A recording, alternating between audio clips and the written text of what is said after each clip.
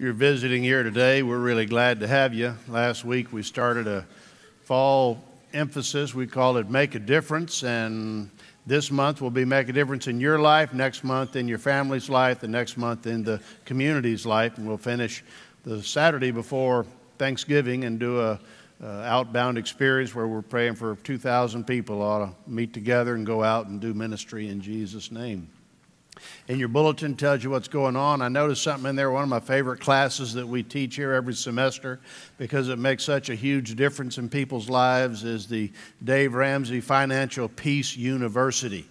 And I looked at that, and I normally don't give shout outs because we have 350 different groups and classes going. But that one, if you got financial troubles, go there. It's wonderful. It'll change your life. They pay off about $300,000 of personal debt every semester when they get together and do that. So praise the Lord for Dave. He's taking the Bible's financial principles and making them real in people's lives, and that's good.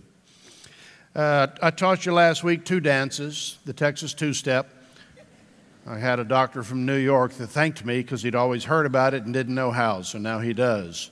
It's not a complicated dance. And then the CBC four step, which was join, grow, discover, serve. Join as in join Jesus, join the church, and join a ministry. And last week, the Lord blessed us. It was a wild weekend. I got in on Monday, and they said, well, we had 87 new believers and 800 new members join CBC last week. So. That's pretty awesome. Now, some of them had been here 14 or 15 years, and I thank you for not rushing into a commitment, thinking through it, and seeing everything there is to see. and then grow, how to grow spiritually. Jesus said, I came that you might have life and that you might have it more abundantly. And I'll show you how to have that abundant life today. Then discover your shape. S H A P E is an acronym for your spiritual gift, your heart, your abilities, your personality, and your experiences. Now, sometime today, between now and next week, I want you to go to our website, communitybible.com, click on that red thing that says personality and gifts test, and take it. It's about 45 minutes long. It's free. Anybody can take it, teenagers, but you, you answer all these questions, adults, and it'll spit out, as soon as you finish, it kicks out, you know, you, who you are, your personality, your gifts, your leadership style. It's really good. I looked at mine again last night just to make sure it was still me. And it is. I read it. I thought, man, this is really a great test. So next week we'll talk about that, but you can get a head start if you will figure out your shape. You go there, take it, and you'll learn it. And then the week after that, last week of September, is serve. Find a need in the world and fill it. Find a hurt in the world and heal it.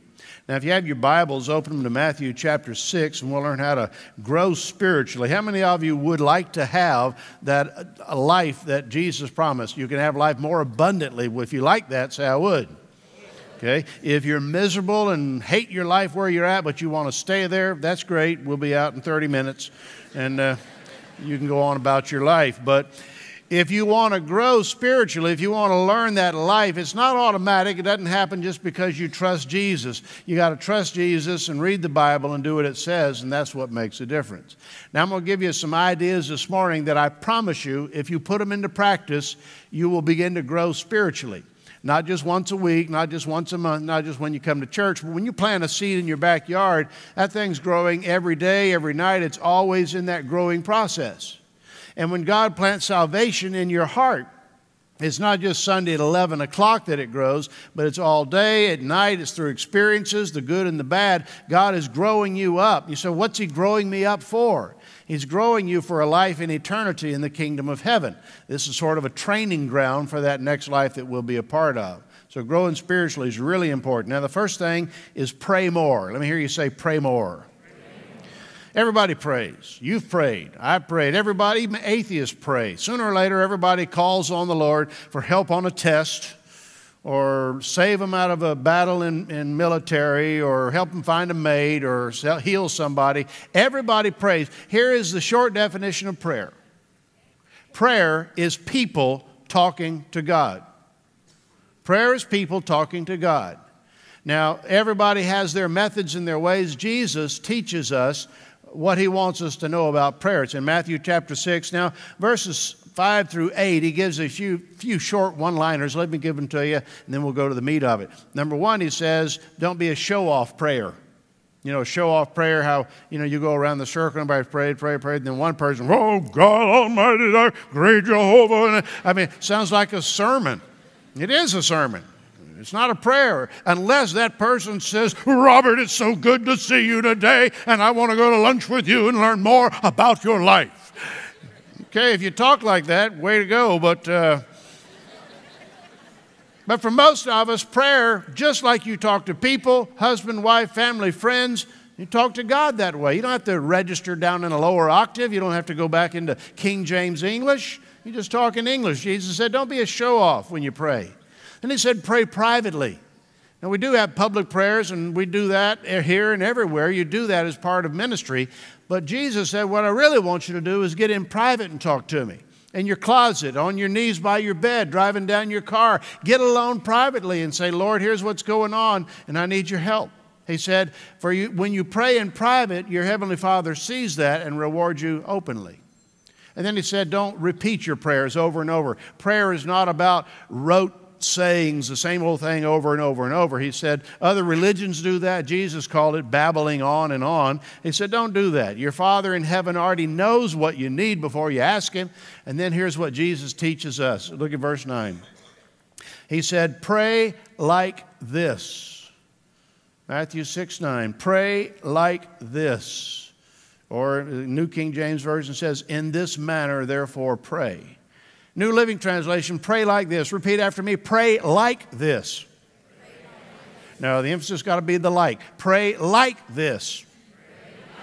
There you go. You say, what's the big deal? Because Jesus said, pray like this, not pray this. The Lord's Prayer, everybody, most of us memorize it, and if you haven't, I recommend you do because it is fantastic. But Jesus never said, pray this. He said, Pray like this. It is a model, it is a guide, it is something to help us go forward. And it's, it's areas of prayer that Jesus wants us to focus on. Now, I say the Lord's Prayer almost every morning. I roll out of bed, or actually, I sit up and let the blood rush to my feet. And I go through the Lord's Prayer. First, I say it, but it's not like there. I've prayed but it just gets me focused on the Lord. And then I go through that prayer. Whenever I pray, and it's a long, you know, extended time with the Lord, I work my way through the Lord's Prayer. Let me show you how. Let's put it up verse at a time. In this manner, pray, Our Father in heaven, hallowed be your name. Holy is your name. Then you stop and you thank God for all of He's done. God of creation. He's the God who heals. He's the God who sees everything that's going on. He's the God that comforts us. He's the God that counsels us. He's Lord God Almighty. And so you take time and honor Him there. And it says, Your will be done, your kingdom come, your will be done on earth as it is in heaven. This part of the prayer reminds us that it's God's plan, not ours. And that we are the sheep of His pasture, He's not the God of our pasture. He's got something going on, and we want to get in on His plan. We're not trying to get God in on our plan. But most of us start our prayer life out trying to get God in on our plan. Kind of like the magic genie, Lord, I need a help. You know, how about now? When you pray this prayer and it's the model and you go from it, you realize it's God's plan, not mine. And that's what we always need to be reminded of. Next verse. Give us this day our daily bread. Now, Jesus isn't saying just pray for bread and that's it. It's this part of the prayer that says you've got needs in your life. You've got wants. You've got needs. The Bible says you have not because you ask not. So you let your request be made known unto the Lord. Most of us don't need any more daily bread. We got a pantry full of it already. So, what is he saying? He's saying, pray for your needs your food, shelter, clothing, education, medication, relationships, friends, healing, whatever's going on in your life. This is where you say, Lord, I'm hurting right now. Lord, I need a job. I need a relationship. I'm going through a divorce. I've lost the love of my life. Whatever it is, you ask God, this is what I need, and you pour out your requests unto the Lord. Next verse. And forgive us our debts or our sins as we forgive those who sin against us. Now, the first half of that verse is really great. The second half I don't care for much. First half says, Lord, forgive me my sins. Now, how many of you are Christians already? Say, I am. Your sins are already forgiven. Jesus did it all on the cross, so that forgiveness is already there. So, why is Jesus saying, Lord, forgive me for my sins? It's not that he doesn't know your sins, but he wants you to stop and acknowledge that you do have areas in your life that need improvement. You do have things you've done against God. So when you pray, most of us, we pray and we confess the usual sins. Lord, forgive me for my impatience. That's a nice, safe one. Lord, forgive me for being a little irritable. That's a nice, safe one. But we leave those really ugly sins away. We don't leave, like we're hiding something from God. Like he doesn't see that. Oh, no, don't know. He knows everything. He sees everything. He sees you wherever you are. Every sin you've ever committed, past, present, and future, God already knows about. So why are we praying? because He wants us to acknowledge our shortcomings. When you realize you've sinned against God, Lord, I'm reading your word and it says to do this and I haven't done that, forgive me. Lord, it says not to do this, I've been doing that, forgive me. We're acknowledging with God where we stand with Him, so we're not hiding anything. Next verse. Oh, uh, for, I forgot the other, second half of that. Go back. As we forgive our sin, those who sin against us. Okay, enough said there. Uh, that's a tough one. This is the only part of the Lord's Prayer that Jesus reiterated.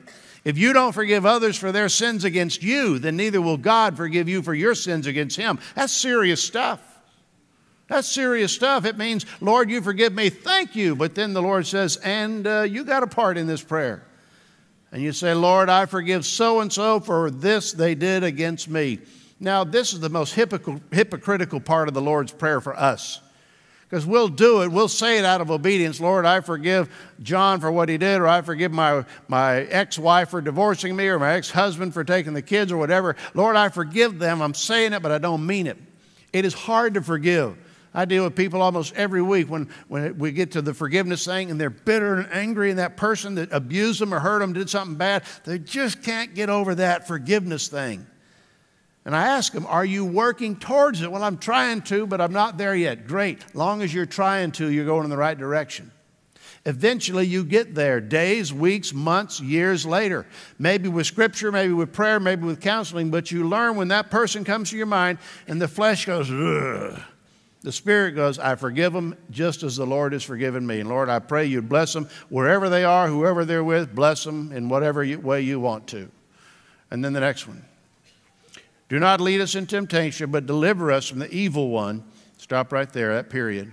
Everybody's got a sin. How many of you know the sin that so easily entangles you? Raise your hand. Oh, come on, don't lie. Think about it. I know it's a trick, fast question. Now that you've thought about it, that one thing you really just struggle with. Now, raise your hand if you know what it is. Okay. Jesus said, Lord, lead us not into temptation. Not that He leads us into it, but basically it's, Lord, this is an area of my life that I struggle with. Today, this day, guide me away from the temptations, the people, the places, or the things that would cause me to do those things. Deliver us from the evil one. Satan, it's a spiritual battle. We wrestle not against flesh and blood, but against powers and principalities. Then he said, For yours is the kingdom and the power and the glory forever and ever. Amen. It's a reminder that there's an eternity waiting for us, and because you know Jesus, you get to be a part of that kingdom. That's how you pray the Lord's Prayer. That's how you use that prayer. Now, Jesus modeled prayer for us. He prayed for his disciples, he prayed for us in John 17. He prayed for the lost, he prayed for the saved, he prayed for all kind of things. But the absolute best example of a prayer life I have ever seen, I just discovered this week. In the Bible, the best model for a prayer life. You know, I'm always thinking Abraham, Moses, you know, David, Solomon, Jesus, the disciples, and all of that. The best example of a prayer life ever is the disciples and their relationship with Jesus. Let me explain. What is prayer? It's people talking to, one more time, prayer is people talking to God. Jesus was God on earth. Is that correct? So if Jesus was God on earth, then every conversation the disciples had with Jesus technically was prayer because they were talking to God. It's amazing when you start looking at the disciples' conversations with Jesus and you start thinking, looking at them from the perspective of prayer, you go, wow, they covered everything. They, they had questions for Jesus, he answered them. He had questions for them, he answered them. They were with him morning, noon, and night. The Bible says, pray without ceasing. So they were conversing with Jesus all the time. They had their doubts, they had their fears, and Jesus accepted those. They had their moments where they were self centered and selfish. We have our prayers that are self centered and selfish. They had their moments where they were scared to death, and Jesus calmed them down. We have our moments when we're scared, and Jesus calms us down. They had their moments of weakness and failure, and Jesus helped them through it. They had their moments of vengeance. A couple of them, because the group rejected Jesus, they said, Lord, you want us to call down fire from heaven and burn them up? Jesus kind of calmed them down. No, no, we're not here to burn people up. Just chill out. Vengeance. I love that part of the prayer. Let me show you the, the spiritually mature way to pray for vengeance. Lord, vengeance is yours. I simply ask that you make me the instrument of your wrath. They were always talking to Jesus. Now, in your prayer life, you're always communicating. Prayer isn't on the, in the morning on your knees only, it's driving, it's walking. When you think and you're thinking towards God, prayer, you're praying. When you whisper, you're praying. When you speak, you're praying. When you write your prayers, you're praying. When you sing your prayers, you're praying. When you say the Lord's Prayer, and it's not just a rote experience, but you actually slow down and you go, Lord, I mean this, and you work your way through it, it's prayer. When you say, Lord, help me, it's prayer. When you say, Lord, help them, it's prayer. You pray without ceasing. That's the way He wants us. That's how you grow spiritually. And you can do it. I mean, you text without ceasing. Your phone's always on, so think of your phone and texting as communicating with God. Prayer is you and I talking to God. Studying His Word is God talking to us. Pray without ceasing. The other day, I was off and I went to the Rolling Oaks Mall during the day, uh, Friday, and nobody was there. And I you know, pray as I go and I walk in and you know, I just prayed, Lord, show me who I'm supposed to help or encourage while I'm here today. And I walked around the mall, walked to one end, one of the, saw a sign up, said the Simon Youth Foundation. What is that? Started reading, still didn't know what it was. As I walked the mall, I saw where it was, and I saw Simon Youth Foundation. I went in, just curious, and the receptionist, I said, What is the Simon Youth Foundation? She said, Excuse me? And I didn't look like I do today. I had shorts and flip flops on, so I didn't look as godly as I do this moment. And I said, Well, what, what is this place? What do y'all do? And about that time, a lady comes around the cubicle. She said, I recognize that voice. Robert, what are you doing here? And I go, Hey, Now, if I ever do that to you, it means I don't quite remember how we're connected, but you're obviously knowing me, so hey, I know you. People say, I go to your church. I know I see you every week. she said, I'm Angie, and I, I, love the church. She said, Actually, I go to Chris's one o'clock service, but you're good too. I said, Well, what is this? And she gives me the grand tour. I mean, it was a you know, just she teaches English there. She's been there 17 years, introduces me around to everybody, talks to people that haven't been to church. And she said, This is the guy that swings on the rope and brings rattlesnakes on stage and breaks fences and has his dog, had his dog on stage. And uh, the people start talking. I asked her, I said, Do you remember the lessons that go with all those illustrations? She said, No, but they were really good. so we visited and I left. And I thanked the Lord. I said, Wow, I asked you to show me who needs encouraging, and I just stumbled into this place, and it happened. You pray as you go. You pray as you drive. You pray as you're in the waiting room. You pray as you're going through chemo. You pray if you're old and gray and can't move around too much, all I'm doing is laying in bed. Then, as long as your mind is going, you be praying. Pray without ceasing. That's how you grow spiritually. Now, after you pray without ceasing and you're doing that, Jesus says to study His Word. Let me show you in Matthew chapter 7, verse 24. This is the end of the Sermon on the Mount. If you read Matthew 1 through 7, like we encourage all of our new believers to do, you'll find out who Jesus is, what he did, and what he taught, and how he wants us to live. He, Sermon on the Mount, he covers anger, marriage, vows, giving, money, prayer, do, walk, going the extra mile, the uh, golden rule, all those, the narrow road, they're all in there. And he finishes the Sermon on the Mount with verse 24, 724. Jesus said, Anyone who listens to my teaching and follows it is wise, like a person who builds a house on the solid rock. Though the rain comes in torrents and the floodwaters rise and the winds beat against that house, it won't collapse because it is built on the bedrock. He's saying, You can follow me, trust me, read my word, put it into practice. You're still going to have storms in life. You're still going to go through things you don't want to go through. You're still going to get cancers or divorces or disasters or accidents. Things happen to everybody, Christian or not.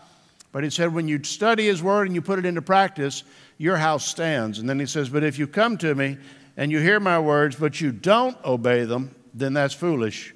He said, When the storms come into your life, it will collapse with a mighty crash.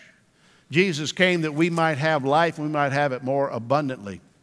The way you do that is you learn the life that He wants you to live. The way you do that is you study the Bible. There's three ways to study the Bible. You can go through a book of the Bible, which I recommend. You can also go through topics of the Bible, you know, index and go through that, or you can study people of the Bible. Those are the three best methods. Now, there's a fourth Bible study method. We don't recommend it, but we've all done it. It's what I call the kamikaze method It's where you just, Lord, show me something good today. Mm, hope to hit something good. And you read it. Now, we don't, if you don't know what kamikazes are, you remember the magic eight ball used to, Lord, should I go out with this person? You know, decidedly so, and that sort of thing. Now, God, in His sense of humor and mercy and grace, allows you to dive in sometimes and actually go, wow, that was good. Now, look at me. How many of you have actually done that method? Just dive in, you hit it, and you go, wow, that was good stuff. Raise your hand, be honest. Okay. I, I rest my case. God in His mercy does so. If you're a couple today and you go home and you know, you husband and wives, and you just say, let's just see what God tells us to do. And you open your Bible, and the man points his finger, and it says, And Peter said to the disciples, I'm going fishing.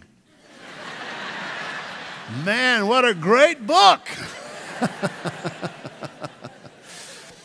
now let's stay away from that method and let's go to the ones, the books, the topics, and the people. Now, five things you can take pictures of it. Let me put it back up there. Number one, get a study Bible.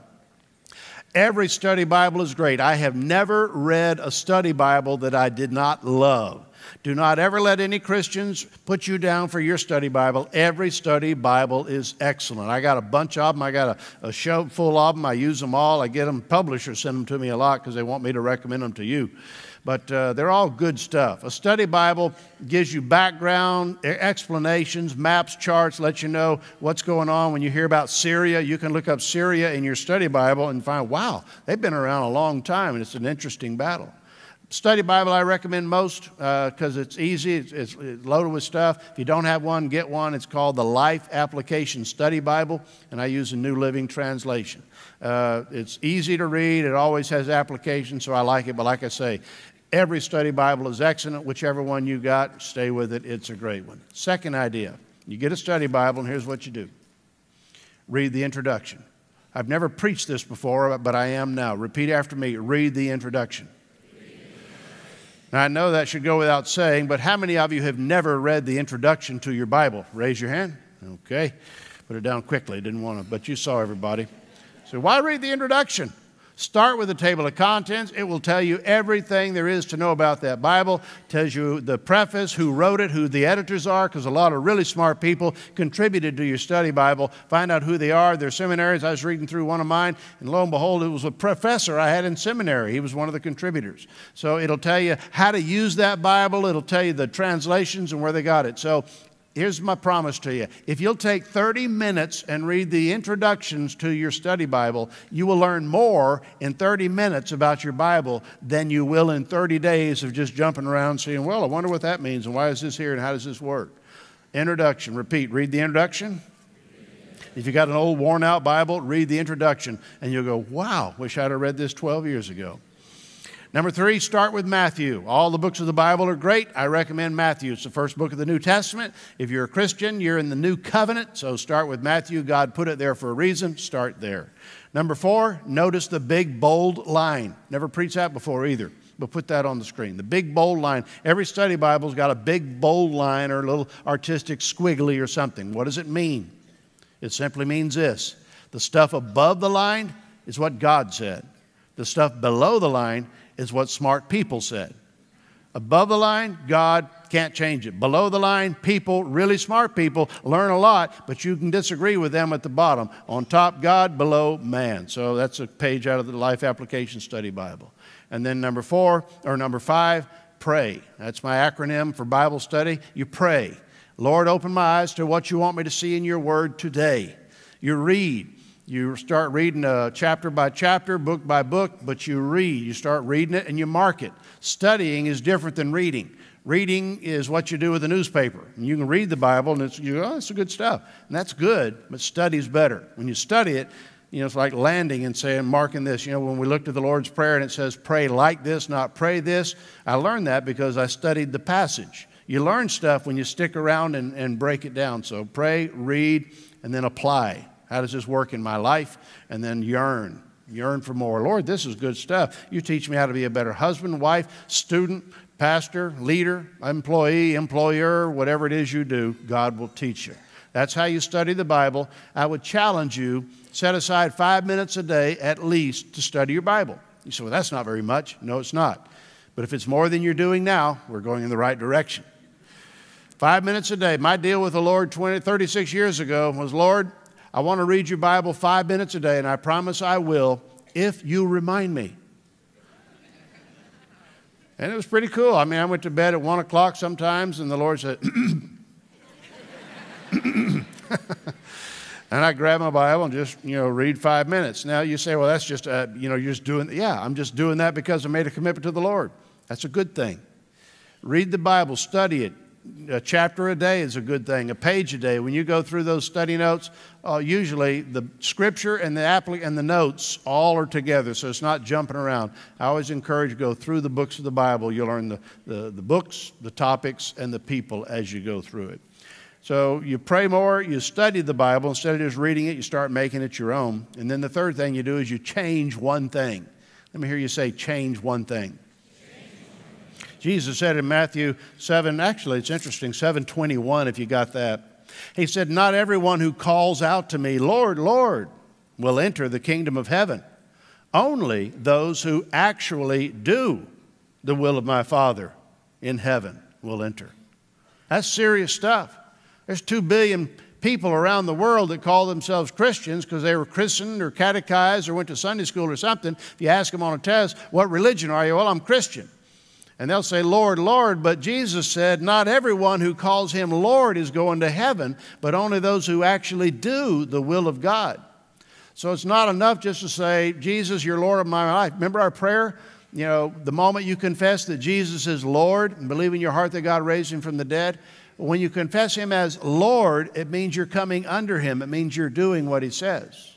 So if you're a Christian and you're not in the habit of reading the Bible and saying, I need to change some things, then the Lord sent you here for this. Change one thing. Now, how many of you know one thing already that you know God wants you to change? Either something He wants you to stop or something He wants you to start. Raise your hand for a little exercise. Excellent. So we don't need to spend any time in prayer saying, Lord, show us something. He already has. Now we just need to say, Lord, help me change it. You change it by resisting it. You memorize scripture. If you're, if you're one of those that jumps into a conversation and gets angry in the middle of a conversation, you memorize John 1:19. Let everyone be quick to hear, slow to speak, and slow to get angry. For the anger of man does not accomplish the righteousness of God. You say, wow, you know that one really well. yes, I do. If profanity is one of your issues and every time you cuss you just repeat Ephesians 4:29, let no unwholesome words come out of your mouth, but only words that are good for edification that it might bring encouragement to those who hear it. You say, "When? You know that one well too." Yes, I do. Whatever your issue is, God has spoken to it, and by His grace, He doesn't give you a whole chapter on your issue, He gives you a verse. And Jesus modeled for us in Matthew 4 you resist temptation by realizing it, confessing the Word of God, and resisting it in Jesus' name. Change one thing. Now, in the Sermon on the Mount, Jesus covers one subject more than any other except prayer, and it's the subject of worry. Matthew 6, verse 25.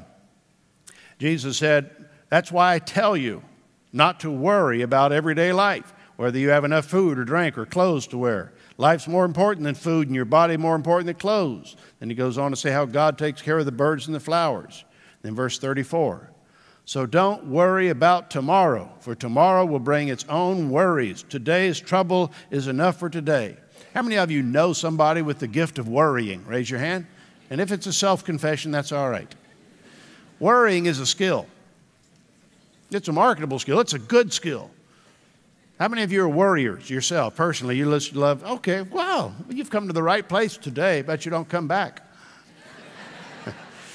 you say, worrying's a skill? Yeah, you have the ability to look at one thing for a long time and think about every possible, conceivable thing that could go wrong with that one thing and worry about it and care about it. And you have empathy because you think if you worry about it, it'll get better. And it doesn't. That's a gift. As you study worry in your topical index in your study Bible, you say, Where's that? Read the introduction. It'll tell you right where that topical index is. You look up worry and you go through all those really great verses and stories because there's like 400 verses in the Bible that say, Fear not, worry not. My favorite is Philippians 4 6 and 7. It says, Don't worry about anything, pray about everything. And the God and the peace of God, which passes all understanding, will guard your heart and your mind through Christ Jesus. He says, quit being a worrier and become a warrior. Ooh, that's good stuff. I'm going to say that again because some of you, you're already texting your way out of here. Go from being a worrier to a warrior. Still focus on that one thing. You're good at that already. Still look at it from every conceivable situation, but as you do, instead of going, huh, you say, Lord, you're able, you're powerful. I pray that you would protect them, that you give them wisdom, you give them knowledge, you stop them from doing that. Lord, heal them, Lord, call them to heaven. Whatever it is God is, is doing, you pray for that. And your first prayer as a warrior and becoming a warrior is, Lord, thank you that 95% of the things I have worried about all of my life never happened. And now let me focus on the things that are right. If you're a warrior, become a warrior. If you're a, a, substance abuser, then do less this week than you did last week. You say, shouldn't I quit altogether? Yes, one step at a time. If I can get you to dump it today, praise the Lord, but it's a progress thing. If you're angry or envious or bitter or unforgiving, Lord, today let me have forgiveness. If you're a critical spirit and you like finding something wrong with everybody, go one day. Actually, let's make it easy. Go one hour without running anybody down or speaking negatively about anybody. That changes your life. When you start taking God's word, reading it, make it your own, and living it, it changes your life. Jesus said, I've come that you might have life and that you might have it more abundantly. None of those who followed Jesus said, You know what, this is miserable. This is getting worse by the day. I'm out of here. If Christianity didn't work, if Jesus didn't give you the power to change your life, if it didn't give you the ability to make your marriage better, your parenting better, your studying better, your working better, then we wouldn't be here today. We just, ah, forget it, it doesn't work. But it works. Trust in the Lord with all your heart. How do you do that? The Bible says this in Romans 10 9. It says, The moment you confess with your mouth that Jesus is Lord, means He's in, in charge of your life from now on. The moment you do that, you confess that He is Lord, and you believe in your heart that God raised Him from the dead, you will be saved. With your heart, you believe and are made right. With your mouth, you confess, and you are saved. Now, I need see all of you looking around. That dog that barked is a working dog, okay? Something upset him. Calm down. You know, I know you're, there's a dog in here. We wrestle not against flesh and blood. That's why the dog barked during the salvation part and not during the jokes. so there's a battle going on, and if there was an ugly demon, you go, ooh, that's scary. But if it's a dog barking, you just don't pay attention. Listen to me again. Zero in, eyes. The moment you confess with your mouth Jesus is Lord and believe in your heart that God raised him from the dead, you are saved. That begins your new journey, your forgiveness, that abundant life that He offers you. If you want that, I'm going to lead you in a prayer of salvation. All the believers will pray it together. If you pray it and you mean it, nothing magical about the words, but if you say, I'm ready to make that decision, I'm ready to follow Jesus, then pray it and mean it, and this is your moment of salvation. Let's pray. Heads bowed and eyes closed.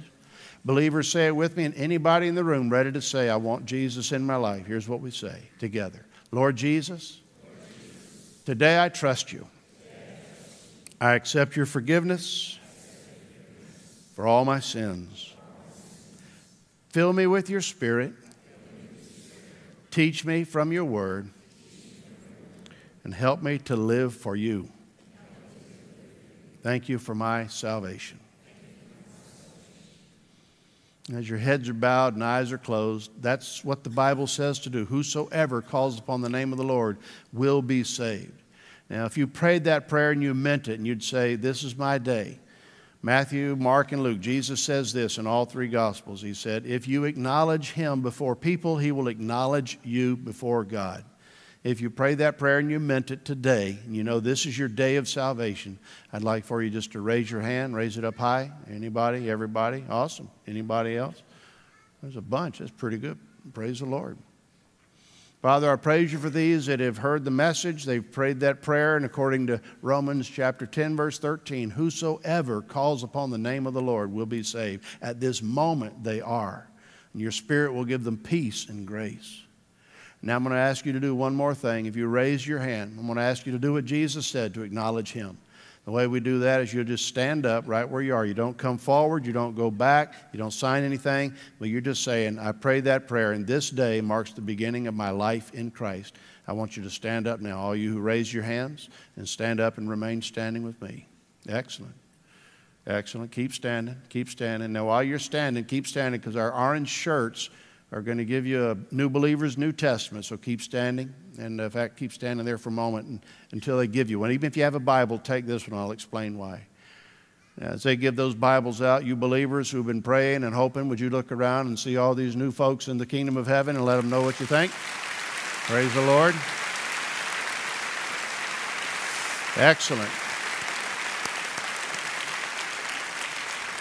Now, as you have that New Believers New Testament, it's sort of a study Bible itself. It's more of a topical thing, but it covers what the Bible, the New Testament says about Bible, prayer, the Holy Spirit, Father, Son, Holy Spirit, Trinity, you know, Satan, angels, heaven, hell, all of that. So you can read that and learn a lot in there, write down this Bible was given to you by CBC on the occasion of, and just put my salvation. This was the day that you look back to, September the 15th, 2013. And wherever you go in your life, whenever anybody says, When did you commit your life to Jesus? You can say, I stood up for Jesus that day, and I know that, and it changed my life. Praise the Lord for that. Amen. Now, Next week, we're studying our shapes. So remember, go to communitybible.com, take the spiritual gifts test, and find out who you are and the way God wired you, and we'll help you understand it next week. Have a blessed week and tell someone the good news. Thanks.